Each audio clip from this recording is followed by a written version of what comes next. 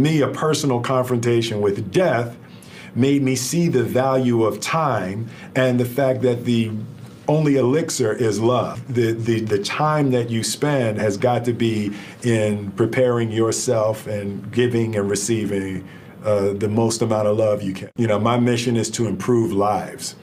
Uh, so I want to do things that put positivity and positive energy and love into the world. You know, I've always been really product oriented. You know, it's like I want to win. When I do something, I want to win. I want it to be number one, and I want to smash it. I, you know, I have a daughter now. I have a 15 year old daughter, and she really she got me and shifted uh, my focus from product to people.